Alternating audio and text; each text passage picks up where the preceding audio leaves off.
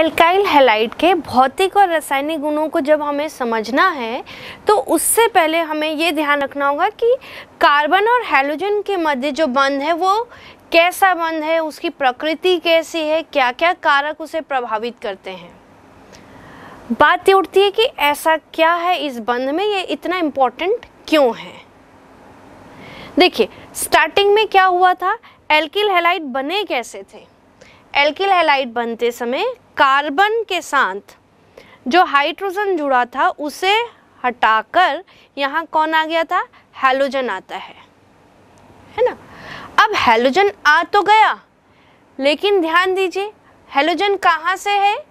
जब हम आवर सारणी की बात करते हैं तो आवर सारणी में सत्रह नंबर के वर्ग में हमारे पास क्या होते हैं? हेलोजन्स होते हैं। हेलोजन्स में हमारे पास फ्लोरीन क्लोरीन ब्रोमीन आयोडीन अब हमें पता चलता है कि कार्बन के बाद हेलोजन है। जैसे ही हम बात करते हैं कि कार्बन के बाद हेलोजन है तो हमें तुरंत क्लिक करता है एक गुण, जिसे हम कहते हैं विद्युत ऋणात्मकता। विद्युत ऋणात्मकता में होता क्या है कि देखिए जब दो तत्व आपस में इलेक्ट्रॉनों का साझा करते हैं, इलेक्ट्रॉनों का साझा कर कर ये क्या करते हैं? बंद का निर्माण करते हैं। ठीक? बंद के निर्माण के बाद ये जो साझे के इलेक्ट्रॉन है, दोनों तत्वों के मध्य में रहने चाहिए। परंतु कुछ तत्वों में ये गुण पाया जाता है, ये प्रवृत्ति होती है कि साझे के इलेक्ट्रॉनों को वो अपनी ओर ज़्यादा क्या कर लेते हैं? खींच लेते हैं। इसी प्रवृत्ति को हम कहते हैं विद्युत ऋणात्मकता या इलेक्ट्रोनेगेटिविटी तो हेलोजन की इलेक्ट्रोनेगेटिविटी कार्बन से क्या होती है? ज़्यादा होती है। तो कार्बन से ज़्यादा होने के कारण जब हाइड्रोजन हट गया और उसमें हैलोजन्स आकर जुड़ गए, कुछ इस प्रकार। तो अब देखिए, ये जो हेलोजन है, ये थोड़े ज़्यादा पावरफुल है। क्यों? क्योंकि ये क्या कर रहे थे? साझे के इलेक्ट्रॉनों को अपनी ओर खींच लेते हैं। इससे हुआ क्या? देखिए, जैसे ही ये साझे के इलेक्ट्रॉन युग्म को अपनी ओर खींच लेते हैं, तब हमारे कार्बन के ऊपर हल्का सा धन आवेश आ जाता है और हैलोजन के ऊपर हल्का सा ऋण आवेश आ जाता है, जिसे हम कहते हैं आंशिक धन आवेश और आंशिक ऋण आवेश। कुछ इस प्रकार। अब इससे क्या हुआ कि एक तरफ़ धन आवेश दिख रहा है हमें देखिए, और एक तरफ़ क्या हो रहा है? ऋण आवेश। हमारा बंध अब कैसा हो गया? ये बंध ध्रुवी हो गया है।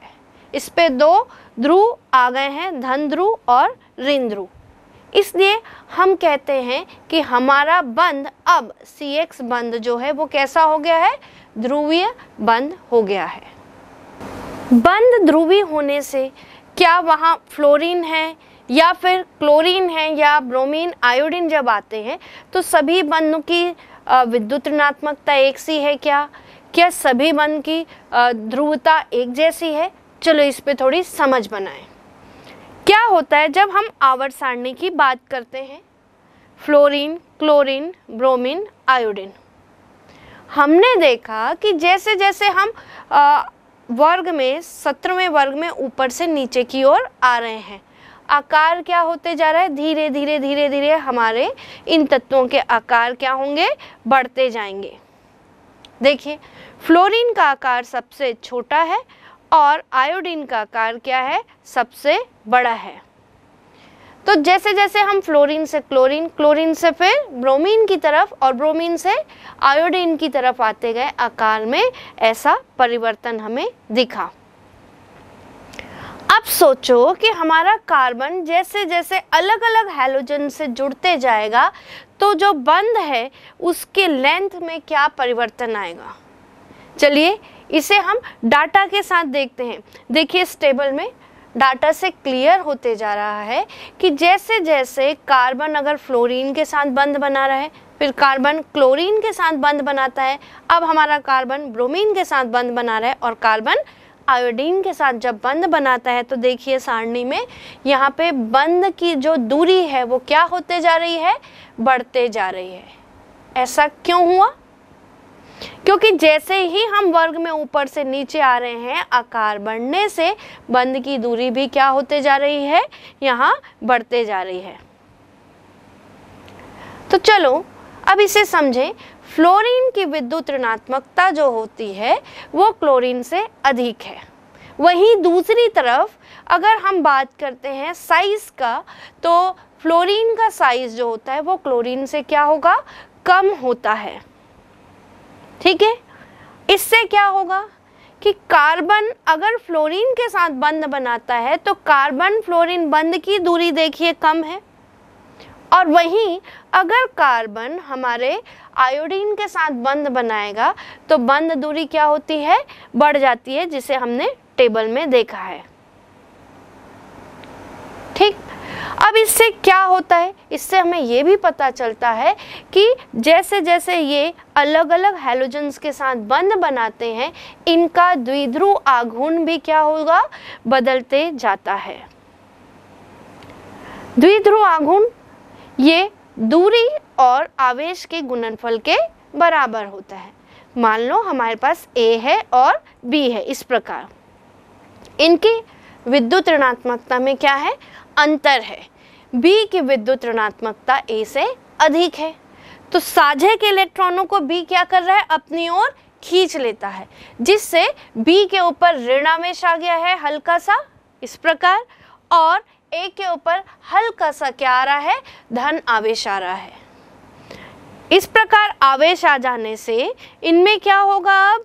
इनके बंध जो है, ध्रुवी हो गए। अब समझने वाली बात यह है कि क्योंकि यहाँ पे द्विध्रुव आघूर्ण दूरी और आवेश पे निर्भर करता है, दूरी बढ़ते जा रही है। जब हम बात करते हैं मेथाइल फ्लोराइड की बात करें तो यहाँ देखो दूरी क्या होगी? कम होगी। जब हम बात करें मेथाइल आयोडाइड की तो दूरी क्या होगी? अधिक होगी। तो दूरी के अधिक होने से द्विध्रुव आघूर्ण का मान मिथाइल फ्लोराइड के लिए क्या होगा? कम हो जाता है जबकि हमारे मिथाइल आयोडीड के लिए ये मान क्या होगा? अधिक होगा। कुछ इस प्रकार। चलिए द्विध्रुव आघूर्ण से हमने ये समझ लिया कि किस प्रकार बंद हमारे लिए बहुत महत्वपूर्ण रोल प्ले करते हैं। अब इसी में आगे समझिए कि हम इसे और कैसे आ, किस आधार पर समझ सकते हैं?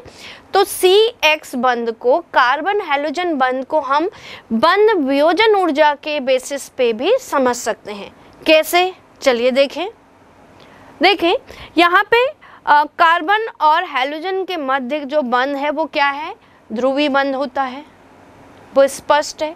इस ध्रुवीय बंध के कारण क्या होगा कि यहाँ बंध वियोजन ऊर्जा का यानी किसी भी दो परमाणु के मध्य जो बंध बना है, उस बंध को तोड़ने के लिए हमें जो ऊर्जा लगती है, उसे हम कहते हैं बंध वियोजन ऊर्जा। अगर वह बंध की दूरी कम है मतलब वहाँ बंध क्या होगा बहुत? मज़बूत होगा, प्रबल होगा। प्रबल बंध को तोड़ने के लिए हमें अधिक ऊर्जा देनी होगी। तो बंद दूरी कम होने से बंद वियोजन ऊर्जा का मान क्या हो गया? बढ़ गया।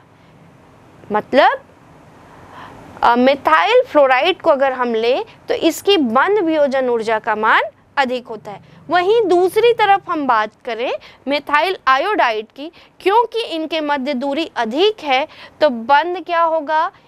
फ्लोराइड की तुलना में यहाँ बंद दुर्बल होगा। बंद वियोजन ऊर्जा का मान कम होगा, जिसके कारण ये आसानी से टूट जाता है। अब इतना तो आप समझ गए कि कैसे जब हाइड्रोजन हट जाता है और उसकी जगह हेलोजन्स आते हैं तो हमारा बंद ध्रुवीय हो जाता है और इस ध्रुवीय बंद के कारण एल्काइल हेलाइड जो है वो अधिक क्रियाशील हो जाते हैं अपने एल्केन से। जिन एल्केन से बने होते हैं उन्हीं से अधिक क्रियाशील ये हो जाते हैं। साथ ही साथ हमें ध्यान देना होगा कि आ, अगर अलग अलग एल्किल हेलाइड है और एल्केन वही है तो क्या होगा? दूसरा यदि हम आ, अलग अलग एल्केन ले और हेलोजन वही रहे तो क्या परिवर्तन होगा? किस प्रकार इनकी क्रियाशीलता प्रभावित होगी? चलिए देखते हैं। पहला हम ले लेते हैं कि हमने मान लो एल्किल हेलाइड में हेलोजन को बदल दिया। एल्किल ग्रुप वही रहेगा। हम सिर्फ़ हेलोजन को बदलते जा रहे हैं। हम पहले ले रहे हैं, जैसे हमने ले लिया मेथिल फ्लोराइड फिर हम लेंगे मेथिल क्लोराइड फिर मेथिल ब्रोमाइड और मेथिल आयोडाइड अब इसमें क्रियाशीलता हमें समझनी है। तो देखिए कौन सा कॉन्सेप्ट आएगा, जो हमने अभी समझा है कि जैसे जैसे हम वर्ग में ऊपर से नीचे आते हैं, आकार बढ़ते जाता है। आकार बढ़ने से बंद की दूरी भी क्या हो गई? बढ़ गई। बंद वियोजन ऊर्जा का मान उससे क्या हो गया? कम हो गया। अब जब बंद वियोजन ऊर्जा का मान कम हो गया, आसानी से वो बंद क्या होगा? टूट जाएगा। आसानी से जब टूट जाता है तो वो अधिक क्रियाशील होगा।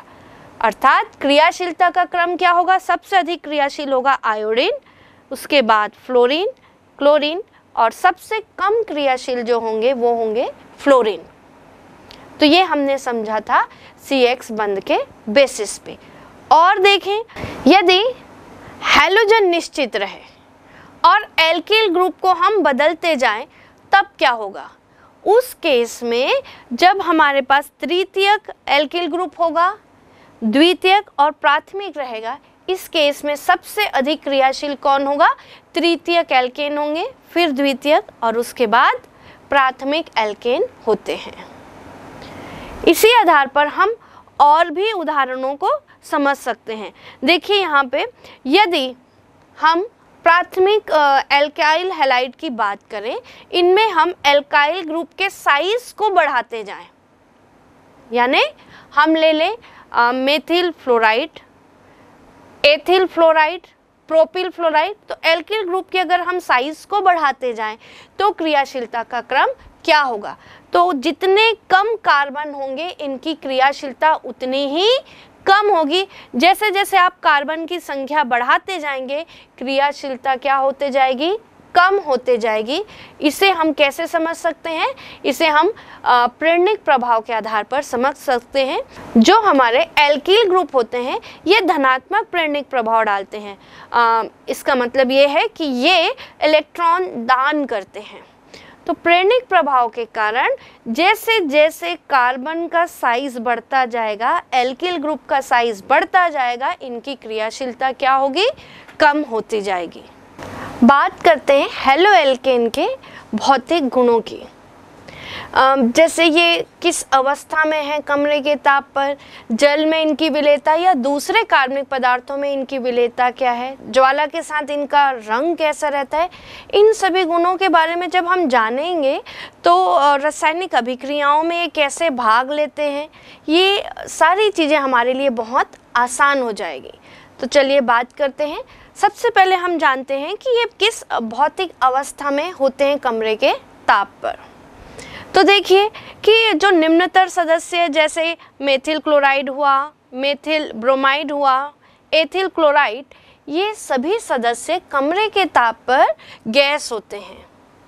पर जैसे जैसे सदस्यों की संख्या बढ़ते जा रही है, कार्बन की संख्या बढ़ते जाएगी लगभग 18 कार्बन तक जब ये रहते हैं, तब इनकी भौतिक अवस्था गैस से बदलकर द्रव में ये पाए जाते हैं। तो कुछ ऐसे भी हैं जैसे मेथिल आयोडाइड की बात करें। मेथिल आयोडाइड और ऐसे सदस्य जिनमें कार्बन की संख्या 18 तक है, ये कमरे के ताप पर कैसे हैं? द्रव अवस्था में पाए जाते हैं। अब ऐसे हेलो एल्केन जिनमें कार्बन की संख्या 18 से ज़्यादा है, यही कमरे के ताप पर ठोस होते हैं। देखिए कुछ एक सदस्य जो उच्चतम सदस्य हैं, ये कमरे के ताप पर कैसे हैं? ठोस होते हैं। अब बात करें इनके गंध की। तो एल्किल हेलाइड जो कमरे के ताप पर द्रव हैं, साथ ही साथ वो वोलाटाइल हैं, यानी वाष्पशील हैं। इन्हें हम बड़े गौर से जब सूंघेंगे आपको बहुत ध्यान से सूंघना होगा तो जब हम ध्यान से सूंघेंगे और इनकी सांद्रता थोड़ी अधिक होगी, तब हमें पता चलेगा कि इनकी गंध कैसी है, मधुर गंध है। ये हमें ध्यान देना होगा कि इनकी गंध क्या होती है, मधुर होती है। इनके सदस्य जो होते हैं, ये रंगहीन होते हैं। पर जैसे अपन बात करें ब्रोमाइड की या आयोडाइड की, इन्हें अगर हम सनलाइट में रखते हैं ये और साथ ही अगर थोड़ा ओपन है उसकी बॉटल तो क्या होता है, इनका रंग परिवर्तित हो जाता है। तो जब ये शुद्ध होते हैं, उस समय तो ये रंगहीन है, लेकिन जैसे ही इनमें सनलाइट आती है तो इनका कलर क्या हो रहा है, देखिए, ये परिवर्तित हो जाता है। चलिए, बात करते हैं मेथिल ब्रोमाइड की। मेथिल ब्रोमाइड को C H three B R इसे हम एक पेस्टिसाइड के फॉर्म में यूज़ करते हैं। पर क्या हुआ कि लंबे समय तक इनका उपयोग बहुत होने से ये ओजोन जो परत है हमारे वायुमंडल में, उस परत के लिए काफ़ी नुकसानदायक हो गए थे। तो इनका उपयोग अभी बैन करा दिया गया है। मेथिल आयोडाइड का एक और उपयोग था, जितने भी हमारे औद्योगिक एरिया है इंडस्ट्रियल एरिया में, वहाँ ये फायर एक्सटिंग्विशर का काम करते थे, वो एक एजेंट थे। तो ये था हमारा मेथिल ब्रोमाइड इसी प्रकार एथिल ब्रोमाइड जो है, इसको जब हम सनलाइट में रखते हैं, तब ये थोड़ा सा क्या हो जाता है, इसमें रंग परिवर्तन होता है और ये हल्का सा पीला हो जाता है। चलिए तो अब हमें ये क्लियर हो गया कि जो निम्नतर सदस्य हैं, वो कमरे के ताप पर कैसे हैं? गैस हैं। जैसे जैसे सदस्यों में कार्बन की संख्या बढ़ते जा रही है, इनकी अवस्थाएँ गैस से द्रव और उच्चतर सदस्य कैसे होते हैं? ठोस होते हैं। चलिए एक टेबल से हम इसे और क्लियर कर लें। तो देखिए टेबल में मेथिल क्लोराइड जो है, कमरे के ताप पर कैसा है? गैस है। वहीं हम बात करें मेथिल ब्रोमाइड की, कमरे के ताप पर यह भी गैस है। एथिल क्लोराइड ये भी हो आ, कमरे के ताप पर गैस होते हैं। क्लोरोफ्लोरोमेथेन ये भी कमरे के ताप पर गैस है। वही हम बात कर रहे थे कि जिनमें कार्बन की संख्या 18 तक है ये सभी सदस्य कमरे के ताप पर कैसे रहेंगे? द्रव रहते हैं और ऐसे सदस्य जिनमें कार्बन की संख्या 18 से अधिक है ये सभी कमरे के ताप पर कैसे होते हैं? ठोस होते हैं। तो देखा हमने ये भी समझ लिया कि आ, कौन से हमारे एल्काइल हेलाइड कमरे के ताप पर किस भौतिक अवस्था में होंगे। चलिए अब हम आ, थोड़ा सा इस डिस्कशन को आगे बढ़ाते हैं। हम देखते हैं कि ज्वाला के साथ इनका क्या रंग होता है। तो जब एल्किल हेलाइट की ज्वाला को हम देखते हैं तो ये अधिकतर जो हैं हरे रंग की ज्वाला के साथ जलते हैं। देखिए। अब हम बात करते हैं विलेयता की, कि हमारे एल्किल हेलाइट किन किन विलायकों में क्या होंगे, अच्छे से विलय हो पाते हैं। तो जब भी हम बात करते हैं विलेयता की, यहाँ हमें सबसे पहले ध्यान देना होगा कि हाइड्रोजन बॉन्ड, हाइड्रोजन बंद की विलेयता से बहुत क्लोज रिलेशन होता है, इनका संबंध होता है। तो समझते हैं पहले कि हाइड्रोजन बंद क्या है। देखिए क्या होता है कि हाइड्रोजन जब भी किसी विद्युत ऋणी तत्व के साथ संयोजी बंध बनाता है तो क्या होता है? क्योंकि वो विद्युत ऋणी तत्व के साथ है। तो विद्युत ऋणी तत्व साझे के इलेक्ट्रॉनों को अपनी ओर क्या कर ले रहा है? खींच लेता है। तो जिससे हमारे इस हाइड्रोजन के ऊपर आंशिक क्या आ जाता है? देखिए। आंशिक इस पे धन आवेश आता है और ऋण विद्युतीय जो तत्व है, इस पे आंशिक ऋण आवेश आ जाता है। तो अब इस प्रकार का हमारा हाइड्रोजन, जिस पे आंशिक धन आवेश है, ये ऋण विद्युतीय तत्व के साथ एक और बंध बनाता है। इस बंध को हम कहते हैं हाइड्रोजन बंध। इस बंध को हम डॉटेड लाइन से दर्शाते हैं। देखिए कुछ इस तरह। तो जब भी हम आ, किसी विलय को विलायक में घोलते हैं तो वहाँ चर्चा होती है हाइड्रोजन बंद की। हम यहाँ बात कर रहे थे कि हमारा एल्किल हेलाइट जल में विलय है या नहीं। चलिए चेक करते हैं कि एल्किल हेलाइट विलय होगा या नहीं। हमने चर्चा की थी कि जो एल्किल हेलाइड में सी एक्स बंद है, कार्बन हेलोजन बंद है, ये कैसा होता है? ध्रुवी होता है। क्यों ध्रुवी होता है? इस पर हमने डिस्कशन किया था कि कार्बन और हेलोजन के बीच साथ संयोजी बंध तो बनता है, पर हेलोजन की विद्युत ऋणात्मकता अधिक होती है, जिससे साझे के इलेक्ट्रॉन को हेलोजन क्या कर रहा है? अपनी ओर खींच लेता है और हेलोजन के ऊपर आंशिक ऋण आवेश और हमारे कार्बन के ऊपर आंशिक धन आवेश आ जाता है। अब हमें जो ध्यान देना है कि आंशिक धन आवेश और आंशिक ऋण आवेश अब देखिए कि जब आंशिक धन आवेश और ऋण आवेश आ जाता है तो हमारा जो एल्काइल हेलाइड है, ये जल में आंशिक रूप से विलय होता है, बहुत अधिक विलय नहीं होता। क्यों? एक सिंपल सा कॉन्सेप्ट है कि लाइक डिजॉल्व लाइक अगर आपका विलायक और विलय दोनों एक जैसे हैं दोनों ध्रुवी हैं तो एक दूसरे में अच्छे से विलय होंगे। दोनों आध्रुवी हैं तो वो आ, आपस में विलय होंगे। क्योंकि हमारा एल्किल हैलाइड क्या है? आंशिक ध्रुवी है। तो ये आंशिक विलय होता है। चलिए, इसे समझने के लिए हमें कॉन्सेप्ट में कुछ और चीज़ें समझनी होंगी। पहले हमें ये समझना है कि जब हम एल्किल हैलाइड को जल में विलय कर रहे हैं, तब क्या होता है? जल में विलय करने के लिए हमें ऊर्जा की आवश्यकता होती है। अब ये ऊर्जा का उपयोग कहाँ होगा? तो इस ऊर्जा का उपयोग दो जगह होगा। पहला देखिए कि आपके जल के अणुओं के मध्य। यहाँ देखिए, जल के अणुओं के मध्य भी क्या है? हाइड्रोजन बॉन्ड है। तो पहले हमें क्या करना पड़ेगा? ये हाइड्रोजन बंध को तोड़ना है, जिसके लिए किसकी ज़रूरत है? ऊर्जा की। दूसरी जगह कहाँ यूज़ होगा ये? तो एल्किल हेलाइड एल्किल हेलाइड अणुओं के मध्य भी देखिए क्या है? हाइड्रोजन बंध है। इस हाइड्रोजन बंध को तोड़ने के लिए भी हमें ऊर्जा की ज़रूरत है ताकि ये अलग हो जाए। तो जब हमें जल में एल्किल हेलाइट को विलय करना है तो आवश्यकता पड़ी हमें ऊर्जा की। अब ये ऊर्जा आएगी कहाँ से? इस ऊर्जा की सप्लाई होती है एल्किल हेलाइड और जल के अणुओं के मध्य। जब हाइड्रोजन बंध बनता है, वो ऊर्जा हमें उपलब्ध कराएगा।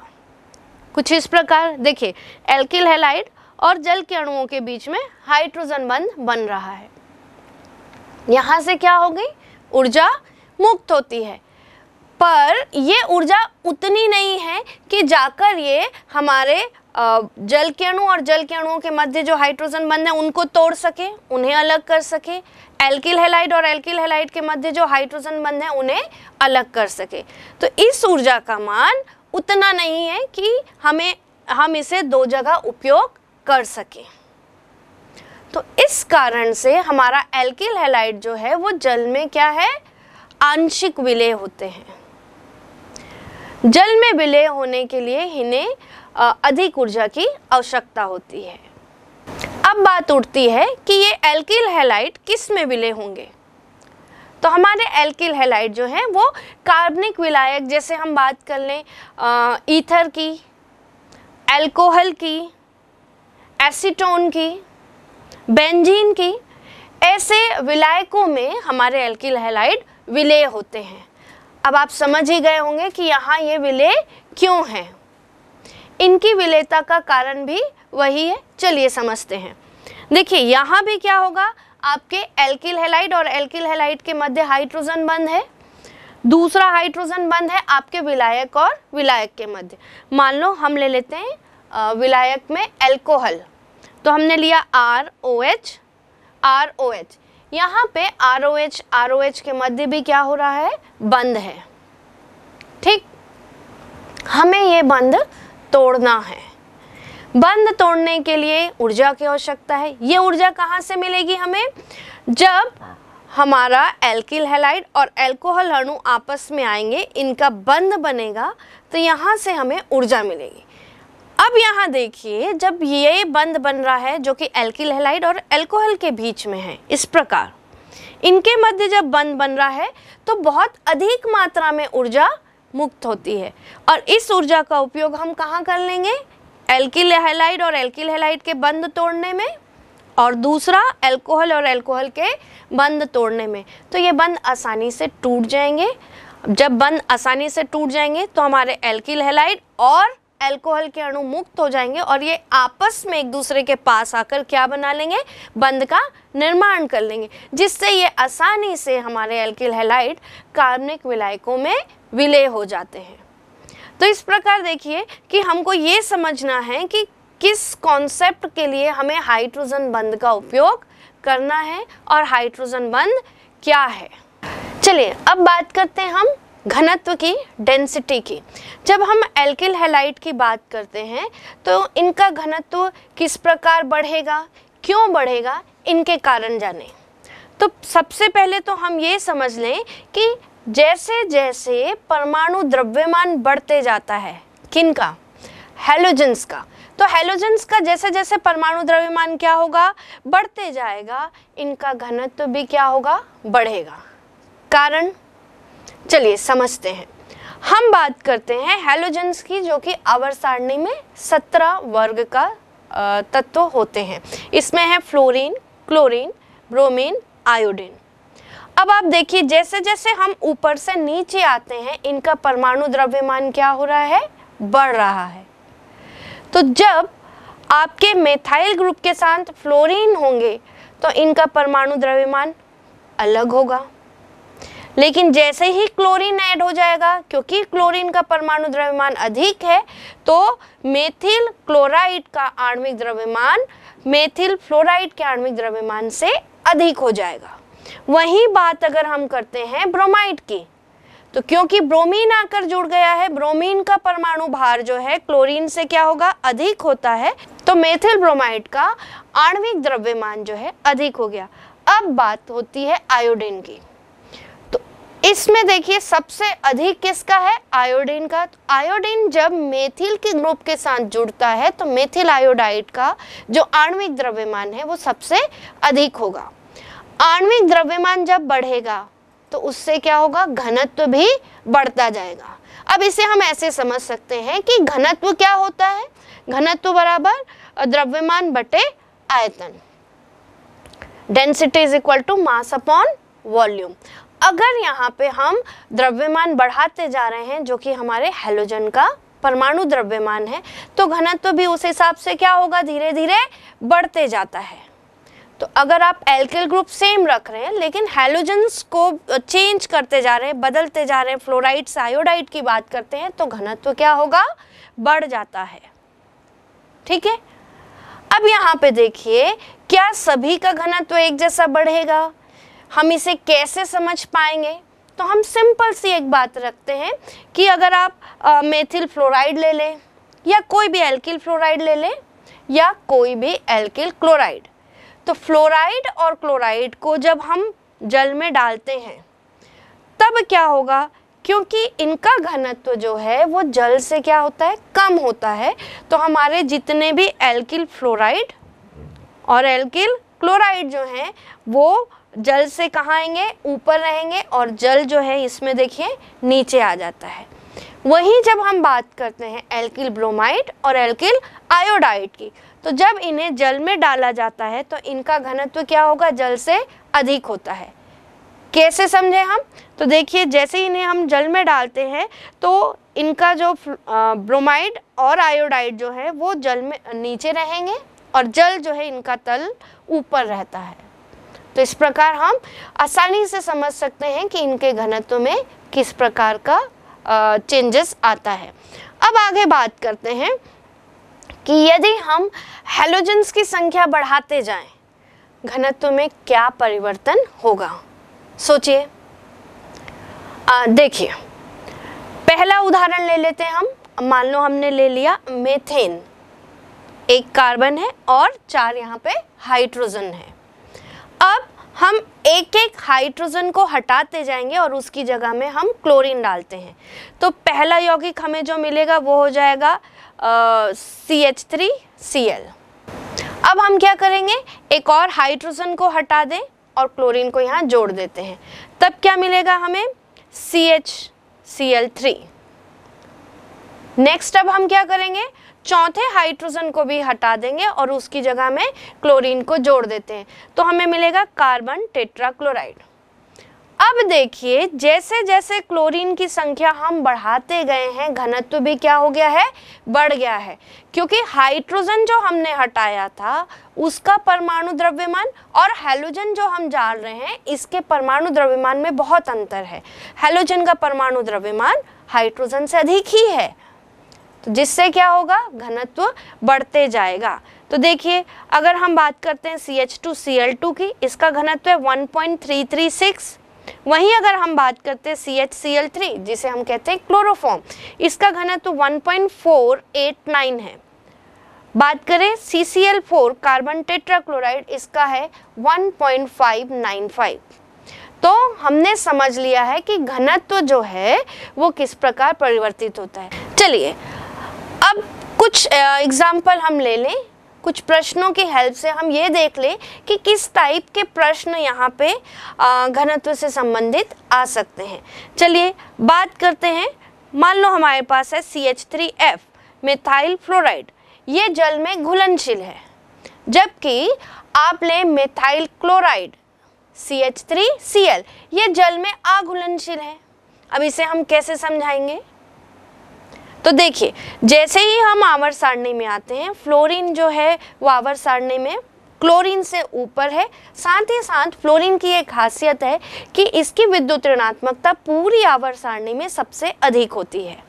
तो विद्युत ऋणात्मकता अधिक होने के कारण, देखिए इस प्रकार इनमें क्या होता है? आसानी से हाइड्रोजन बंद बनता है। तो जब यह आसानी से हाइड्रोजन बंद बनाएगा तो ये क्या होगा? जल में घुलनशील होता है। उसी प्रकार C H three C L की बात करें तो यहाँ पे क्लोरीन जो है वो हाइड्रोजन बंद नहीं बना पाता, इसलिए ये जल में कैसे है? आघुलनशील होता है। चलिए, एक और एग्ज़ाम्पल लें। Carbon tetrachloride C C L four इसमें जो कार्बन और क्लोरीन के मध्य जो बंध है इनकी विद्युत ऋणात्मकता में अंतर होने के कारण कैसा है? ध्रुवी है। तो कार्बन टेट्राक्लोराइड में सीसीएल बंध कैसा है हमारा? ध्रुवी है। पर जब हम कार्बन टेट्राक्लोराइड की बात करते हैं, ये अणु जो है आध्रुवीय होते हैं। क्यों? चलिए समझते हैं इसे। जब बात करते हैं हम कि कार्बन और क्लोरीन के बंध के बीच में तो क्लोरीन की विद्युत ऋणात्मकता क्या होती है? अधिक होती है। तो ये क्या करेगा? साझे के इलेक्ट्रॉनों को अपनी ओर खींच लेता है। इससे क्या होगा? हमारे क्लोरीन के ऊपर ऋण आवेश आता है और कार्बन के ऊपर धन आवेश होता है। तो क्लोरीन और कार्बन का जो बंध है, वो कैसा हो गया है? ध्रुवीय बंध है।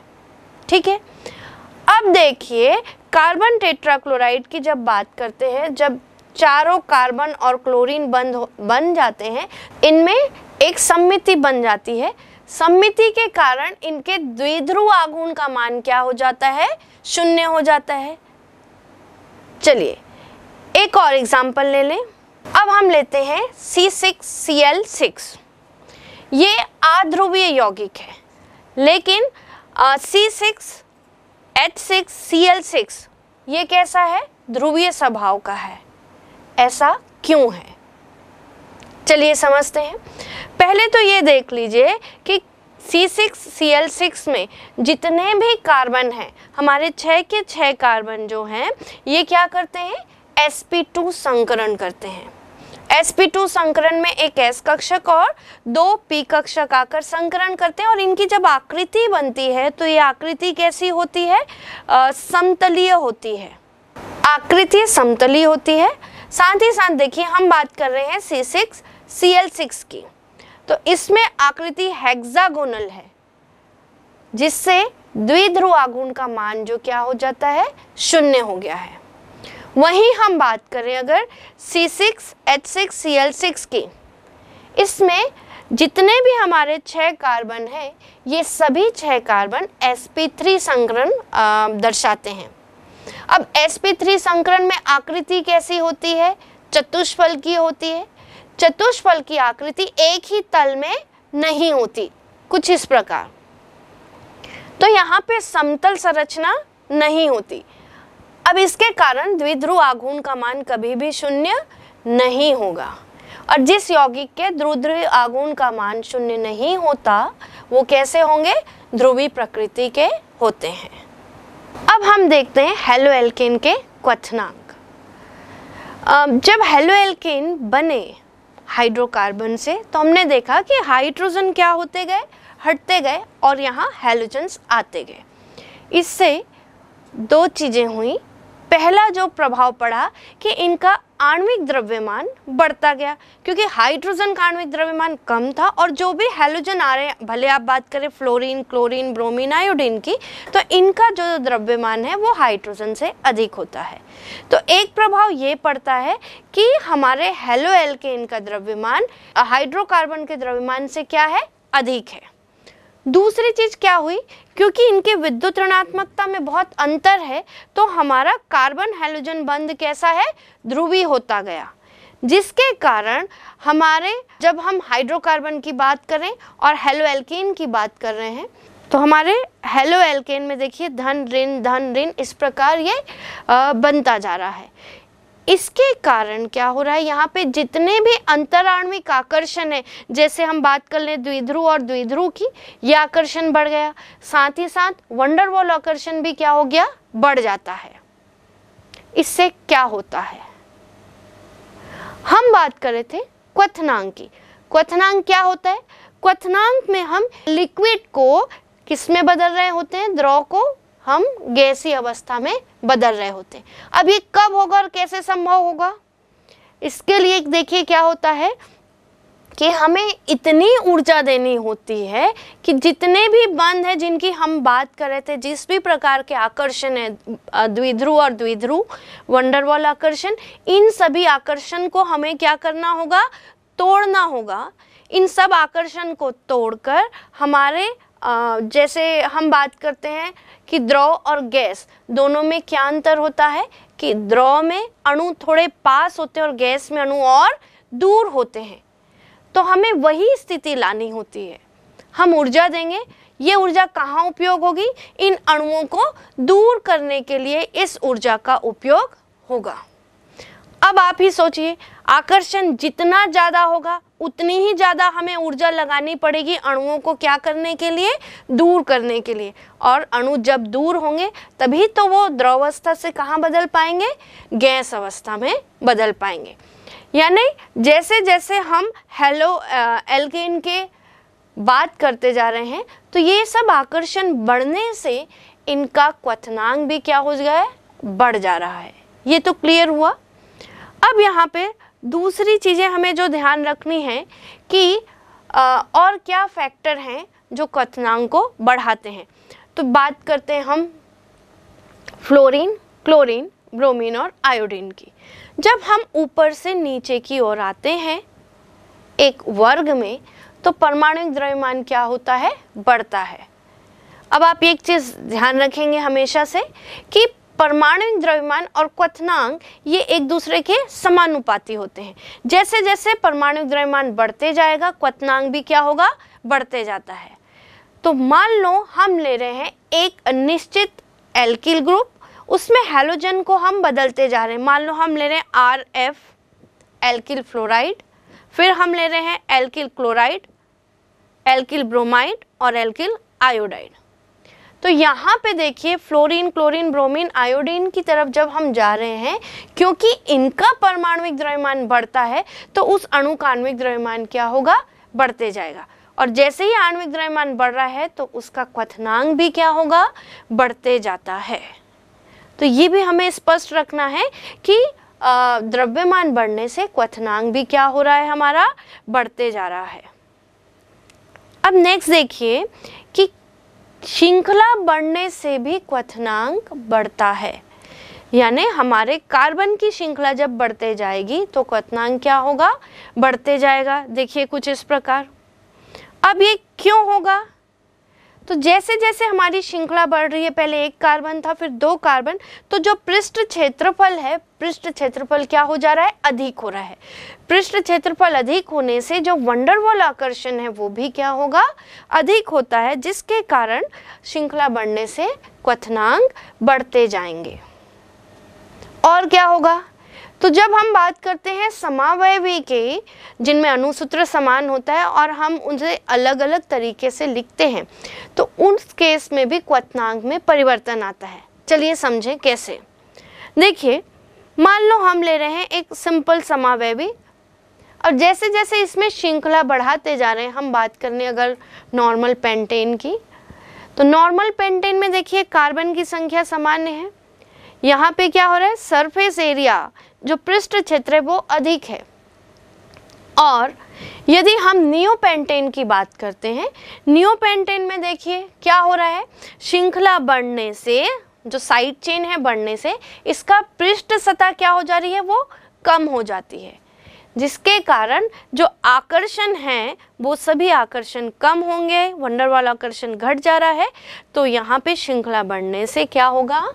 क्वथनांक घटता है। साइड चेन बढ़ते जाएगी तो क्वथनांक क्या होगा? घटते जाएगा।